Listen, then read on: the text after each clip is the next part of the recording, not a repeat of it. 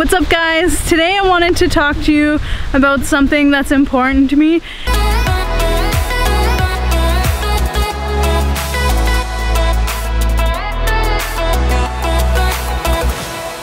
What I realized was how important sometimes it is to just jump in with both feet even though it seems terrifying and totally crazy and like maybe everyone in your life is like don't do that why would you do that that's insane and the reason I say that is because a couple weeks ago we got contacted by somebody who wanted to buy our van and this person was like I play in Sheryl Crow's band and I'm gonna be in Thunder Bay on a tour. We're doing the Canadian folk festivals and I want to meet you guys when I'm in town. I want to see the van and maybe I can get you guys tickets to the show. So Adam and I are like, wow, that's pretty cool and I don't know, is that real or not? But we happened to meet this guy and the drummer of the band. Both of these guys we hung out with for the day and they're amazing people and we had a really great conversation and then the next day we did Adam and I did get to go to the concert and we got backstage passes and we were standing kind of at the edge of the stage where the sound guys were like if you've ever been to a concert and like the person is taking out the guitar or something like that that's where we were. We were watching Sheryl Crow from that spot. And I just had this stupid grin on my face the whole time because I was just like I cannot believe that we're standing where we are watching somebody who I have admired because I always played guitar when I was younger. And uh, like Sheryl Crow is just an amazing musician and an artist. And so here we are standing so close to somebody that I'd admired for so long. And through this connection of our van here we are Adam and I standing there watching this concert like immersed in it. And I just was laughing and smiling to myself because I never thought that a year ago we would be there. I never thought that this would have happened. And it's weird how life unfolds and how you're rewarded for jumping in and doing something courageous and doing something different. Whatever that is it doesn't have to be van life. It doesn't have to be like tiny living or anything like that. Just something that you wanted to do that you've been terrified of doing and you just went and did it.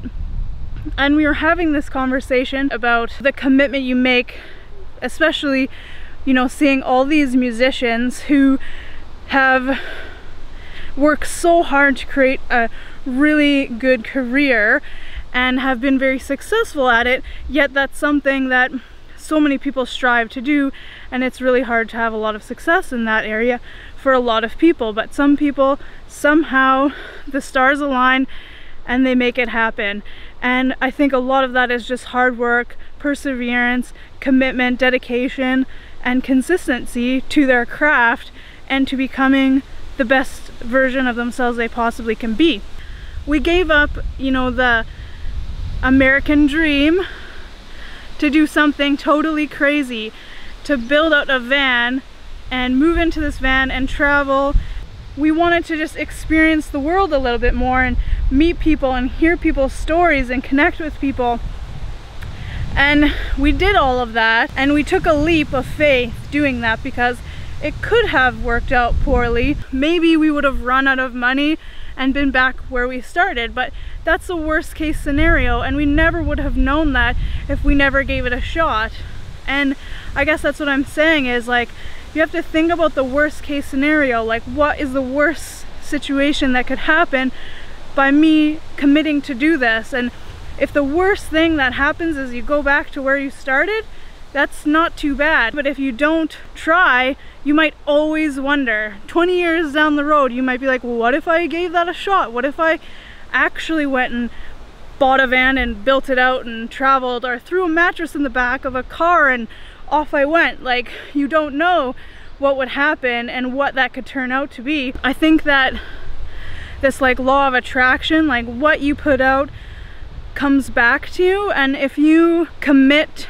to your dream or your vision and you go all out for that, then somehow the universe conspires to make that happen. And it was just very cool and it was a big aha moment for me because I was like, this is not where I expected to be, yet it's totally perfect and it's exactly where we're supposed to be. And I couldn't be more grateful for that and for the people that I met along the way because all of those people are amazing people and all their stories have connected with me because they've all been people who have just like jumped in with both feet with whatever it is that they're doing and they just committed to it and they found success. And that success does not have to be like a million dollars in your bank account. And for me and Adam our success is not measured in dollars and cents.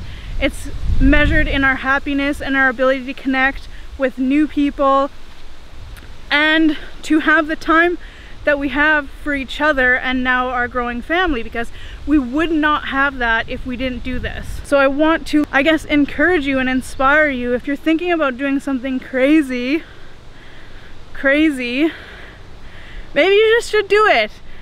Do it and commit to it and see what happens and don't let your fear stop you and don't let the fear of other people stop you from doing what you want to do, what you're passionate about and see it through and see what happens because the worst case scenario is you're back to where you are right now watching this video and that's probably not too bad because you're watching this video and you have a computer and you have access to resources. That's what I have to say today. We'll see you on the next one. Make sure you like, share.